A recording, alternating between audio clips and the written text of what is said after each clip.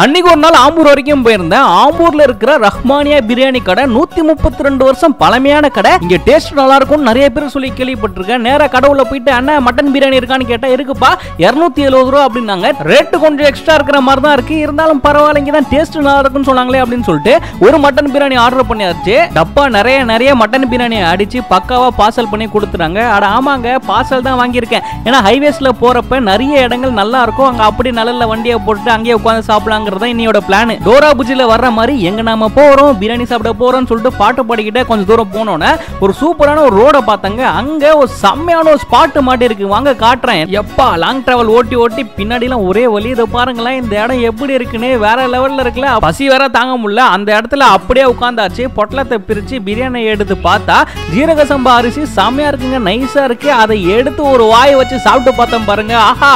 ஆம்பூர் பிரியாணி ஆம்பூர் பிரியாணி தாயா